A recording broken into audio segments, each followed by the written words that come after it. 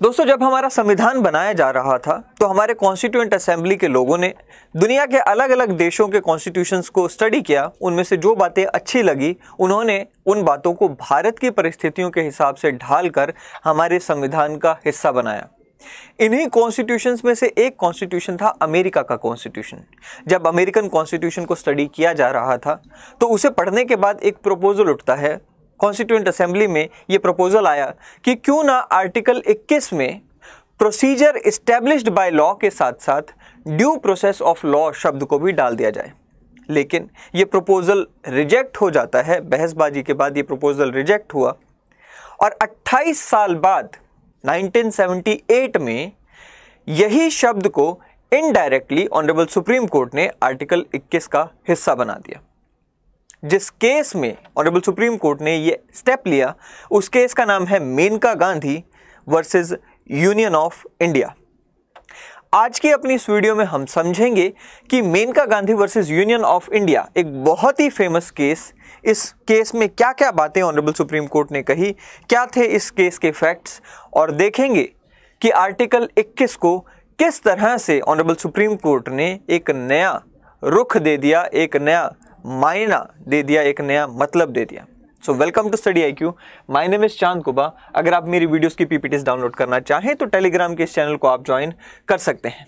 एक बहुत ही अच्छी खबर है उन सभी स्टूडेंट्स के लिए जो कि किसी भी स्टेट जुडिशियल सर्विसेज़ की तैयारी कर रहे हैं। स्टडी आई आपके लिए लेकर आया है। एक बहुत ही कॉम्प्रिहेंसिव एंड इंटीग्रेटेड कोर्स जहाँ आपको सभी major minor and local laws provide कराए जा रहे हैं। साथ ही में आपको लैंग्वेजेस की क्लासेस दी जा रही हैं और टेस्ट सीरीज़ आपको प्रोवाइड कराई जा रही हैं। और साथ ही में हर हफ़्ते एक live doubt cum mentorship session आपके साथ कंडक्ट कराया जाता है। देखिए, जब हम बात करते हैं मेनका गांधी केस की तो हमें देखने को मिलता है कि अपने आप में एक बहुत ही इंपॉर्टेंट लैंडमार्क जजमेंट ये रहा, जिसमें सेवन जजेस की एक बेंच ने एक यूनानिमस डिसीज़न पास किया था और आर्टिकल 21 का एक बहुत ही बड़ा मतलब यहाँ पर निकल कर आता है। इस केस को फेमसली आप पर्सनल लिबर्टी केस के नाम से भी जानते हैं। यहाँ हमें देखने को मिलता है कि आर्टिकल 21 में the right to life and personal liberty की जो बात की गई है, उसमें पहले जो हमें प्रोटेक्शन मिली हुई थी, वो केवल उन्हीं एक्शन से प्रोटेक्शन मिली थी जो कि एक एग्जीक्यूटिव के आर्बिट्रेरी एक्शंस होते थे। लेकिन इस केस के बाद आर्बिट्रेरी एक्शंस ऑफ़ लेजिस्लेचर से भी हमें प्रोटेक्शन मिल जाती है। कैसे? अब हम समझेंगे।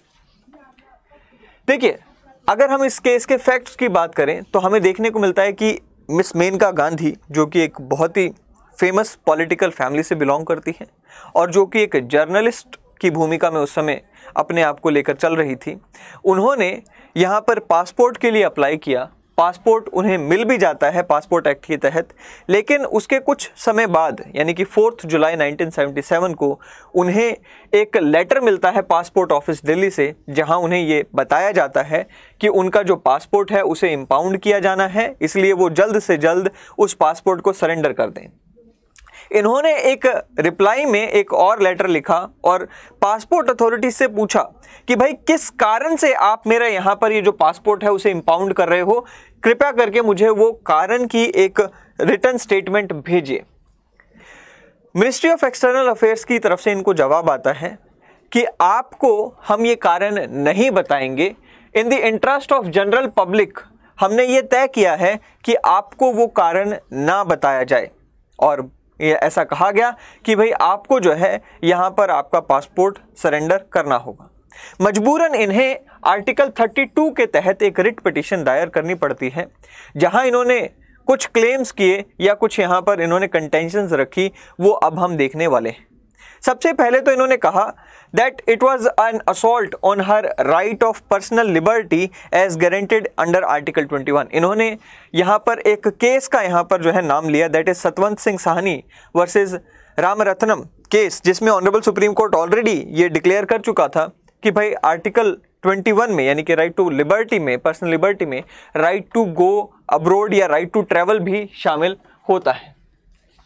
साथ ही में इन्होंने ये contention the that since right to go abroad is a part of personal liberty और अगर उसे छीनना भी है तो आपको यहाँ पर प्रोसीजर इस्टेब्लिश्ड बाय लॉ के हिसाब से छीनना होगा। वो प्रोसीजर आपके पासपोर्ट एक्ट में दिया हुआ है कि जब भी section 10 of the passport act के तहत आप किसी का पासपोर्ट इम्पाउंड करते हो तो उस व्यक्ति को एक रिटर्न में रीजन देते हो कि भाई हम आपका पासपोर्ट क्यों इम्पाउंड कर रहे हैं? यानी कि आपको पासपोर्ट एक्ट में लिखे हुए उस प्रोसीजर को फॉलो करके मेरा पासपोर्ट छीनना चाहिए था। लेकिन आपने वो प्रोसीजर नहीं फॉलो किया और मुझे ये बताने से मना कर दिया कि भाई क्यों आप मेरा पासपोर्ट इम्पाउंड कर रहे हो? हेंस उन्होंने क्या कहा कि भाई जो राइट ऑफ़ या या रूल्स ऑफ़ नेचुरल जस्टिस हैं, उनको भी आपने कॉन्ट्रावीन किया है। और इन्होंने एक और कंटेंशन रखी कि अमेरिकन कॉन्स्टिट्यूशन में प्रोसीजर इस्टेब्लिश्ड बाय लॉ के साथ साथ ड्यू प्रोसेस ऑफ़ लॉ भी लाया गया है। भारत में भी प्रोसीजर इस्टेब्लिश्ड बाय लॉ जो है, वो अमेरिका की तर्ज पर फेयर जस्ट एंड रीजनेबल होना चाहिए। अगर ऐसा नहीं होता है तो ये हमारे मौलिक अधिकारों का हनन है। ये सारी कंटेंशंस रखी जाती हैं श्रीमती मेनका गांधी की तरफ़ से।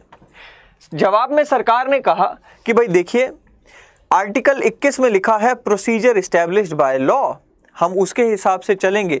ड्यू प्रोसीजर की यहाँ पर कोई ज़रूरत नहीं है, क्योंकि ऐसा हमारे संविधान में लिखा नहीं गया है और हमारी जो कॉन्स्टिट्यूंट असेंबली थी, उन्होंने इस शब्द को हमारे संविधान में डालने से मना कर दिया था। तो हम क्यों उसको लेकर आएँगे? बहरहाल, सुप्रीम कोर्ट ने यहाँ पर सबसे पहले तो कुछ इशूज़ डिसाइड किए कि किस पर हमें जजमेंट देनी है। उनमें से दो सबसे जो इम्पोर्टेंट इशूज़ थे वो ये कि क्या जो सभी फंडामेंटल राइट्स हैं दैट इज़ 19, 14 एंड 21 क्या ये आपस में इंटरकनेक्टेड हैं?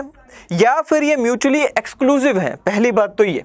दूसरा जो सवाल उठा that what is the scope of procedure established by law क्या प्रोसीजर इस्टेब्लिश्ड बाय लॉ को हम केवल जो लिटरल मीनिंग है उसी के हिसाब से चलेंगे?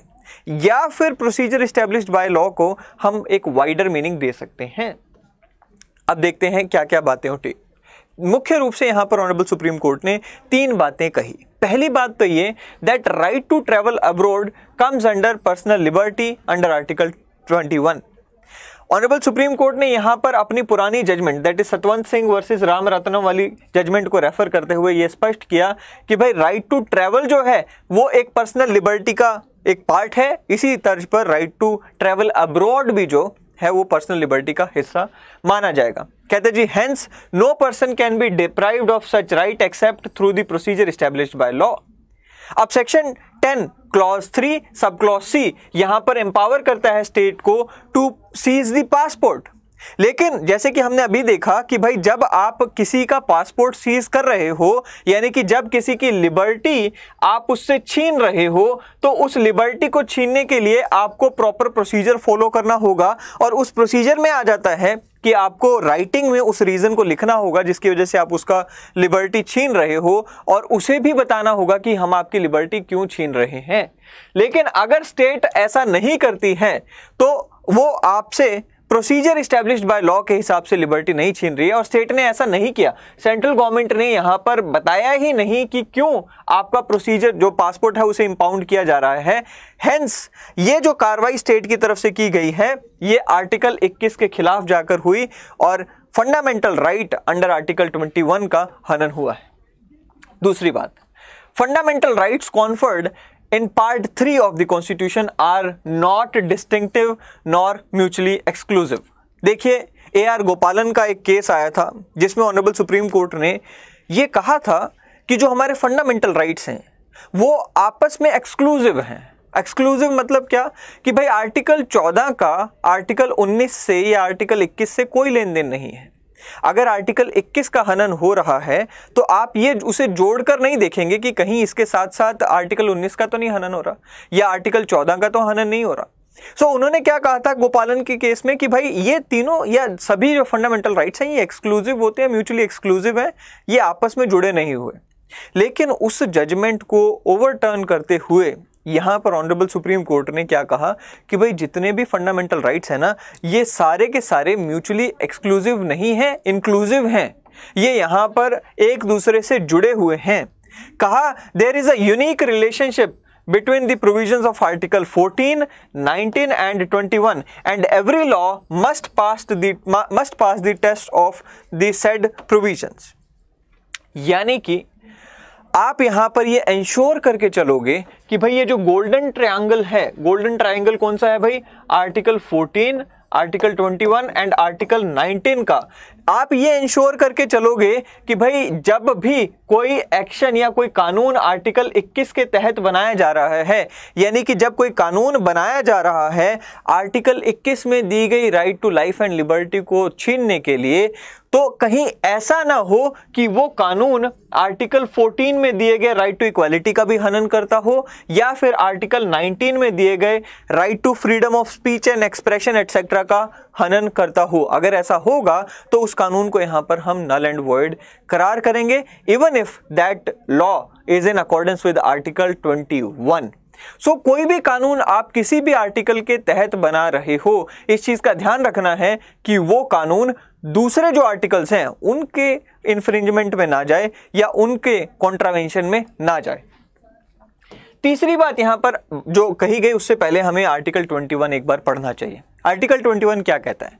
आर्टिकल 21 कहता है जी protection of life and liberty क्या कह गया? No person shall be deprived of his life और personal liberty except according to the procedure established by law क्या कह गया कि भाई, कोई भी व्यक्ति से उसकी लाइफ या पर्सनल लिबर्टी नहीं छीनी जाएगी except according to the procedure established by law यानी कि जो प्रोसीजर स्टेब्लिश्ड बाय लॉ है, वो चाहे जस्ट है फेयर है या नहीं है अगर आप किसी की लाइफ या पर्सनल लिबर्टी छीन रहे हो तो प्रोसीजर स्टेब्लिश बाय लॉ से छीन लो। अब वो जस्ट हो, ना हो, फ़र्क नहीं पड़ता। अगर इसका लिटरल मीनिंग देखे तो यही निकल कर आता है कि भाई कानून में लिख दिया, हमारी पार्लियामेंट ने कानून बनाया, उसमें लिख दिया कि कोई चोरी करके भाग रहा है, उसको गोली मार दो।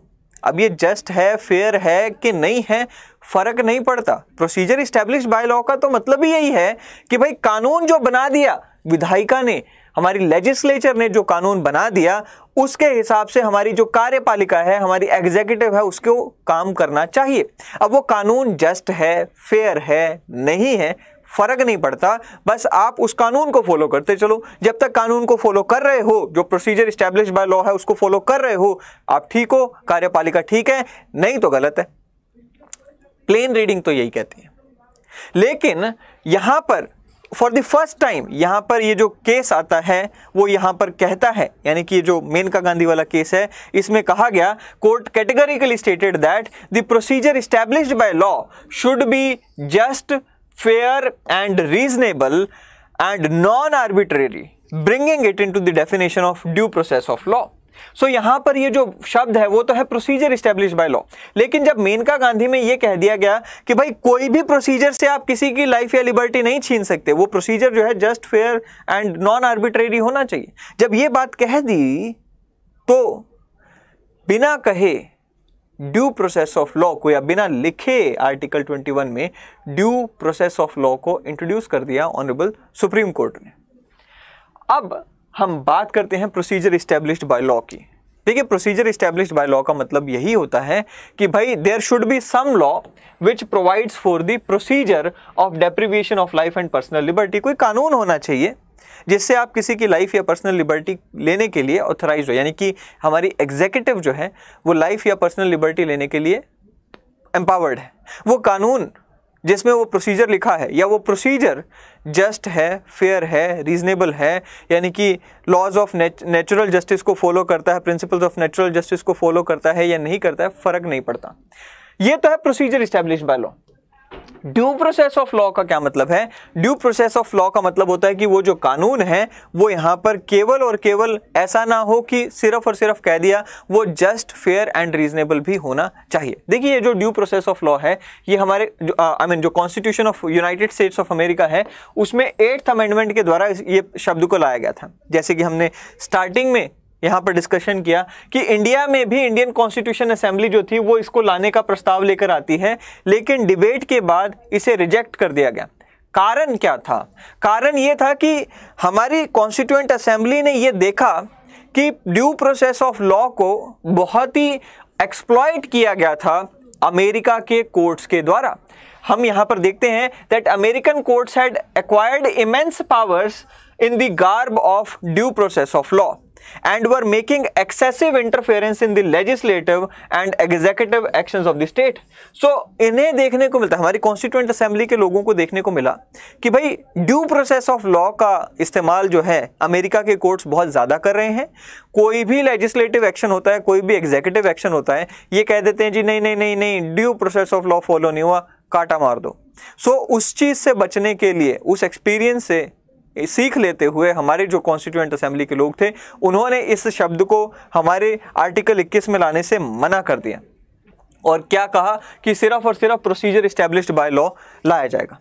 बहरहाल, ये जो मेनका गांधी का केस था, इसमें ये यहाँ पर एक वाइडर डेफिनेशन दी गई और कोर्ट ने कहा कि कोई भी प्रोसीजर अगर 21 के तहत आप किसी भी प्रोसीजर से किसी की लाइफ या लिबर्टी लेकर छीन रहे हो या उसको, उससे वांछित कर रहे हो तो वो प्रोसीजर केवल प्रोसीजर इस्टेब्लिश्ड बाय लॉ नहीं होना चाहिए। उसके साथ साथ तो वो प्रोसीजर ड्यू भी होना चाहिए, यानी कि just fair fair reasonable and non arbitrary भी होना चाहिए। अब मेनका गांधी केस पर दोबारा आते हैं। इस केस में ऑनरेबल सुप्रीम कोर्ट ने यह बात कही that there is a clear infringement of the basic ingredients of principles of natural justice that is audi alteram partem देखिए भाई ऑडी ऑल्ट्रम पार्टम का क्या मतलब होता है? इसका मतलब ये है राइट टू बी हर्ड आप अगर किसी को सज़ा दे रहे हो उसको सज़ा देने से पहले या किसी की आप लिबर्टी छीन रहे हो तो वो लिबर्टी छीनने से पहले उसको सुनना ज़रूरी है। That is one of the basic principle of natural justice अगर आपका प्रोसीजर इस्टेब्लिश बाय लॉ ऐसा नहीं करता है, यानी कि अगर आपका प्रोसीजर इस्टेब्लिश बाय लॉ सीधा कहता है कि जिसने चोरी की है, उसको बिना सुने गोली मार दो या उसको बिना सुने जेल में डाल दो तो वो प्रिंसिपल्स ऑफ़ नेचुरल जस्टिस के खिलाफ जा रहा है। खास करके ऑडी ऑल्ट्रम पार्टम के खिलाफ जा रहा है, जिसकी वजह से वो जो प्रोसीजर है, वो प्रोसीजर इस्टेब्लिश्ड बाय लॉ तो हो सकता है, लेकिन ड्यू प्रोसेस ऑफ़ लॉ नहीं हो सकता। और वही यहाँ पर भी हुआ कि आपने मिस मेनका गांधी का पासपोर्ट जो है, वो तो छीन लिया, लेकिन उनसे बिना सुने कि भाई क्यों आपका पासपोर्ट ना छीना जाए? आप क्यों ऐसा कर रहे हो कि आपका हमें पासपोर्ट छीनने पे मजबूर हो रहा है सामने से जवाब आने देते। लेकिन आपने ऐसा नहीं होने दिया यानी कि जो उनकी सुनवाई होनी चाहिए थी वो बिना सुने आपने उनकी लिबर्टी छीन ली उनका फ्रीडम छीन लिया। सो so, वो यहाँ पर हमें देखने को मिलता है कि ऑनरेबल सुप्रीम कोर्ट ने हाईलाइट करके उसे गलत ठहराया। खैर ये थी पूरी जजमेंट मेनका गांधी की जिसमें हमें तीन मुख्य रूप से बातें देखने को मिली। आप में से जो भी स्टूडेंट्स यूपी एपीओ की तैयारी कर रहे हैं, वो हमारी टेस्ट सीरीज़ का बेनिफिट उठा सकते हैं। बहुत ही अफोर्डेबल रेट में आपको प्रोवाइड कराई जा रही है। एमपी की जो सक्सेसफुल टेस्ट सीरीज़ थी, उससे एक्सपीरियंस लेकर हम और आगे बढ़ रहे हैं। आई होप कि आपको ये पूरी जजमेंट समझ आएगी, पसंद आएगी एंड आपको ये वीडियो भी पसंद आएगी। अगली वीडियो में फिर एक बार मिलेंगे। Till then thank you and have a great day ahead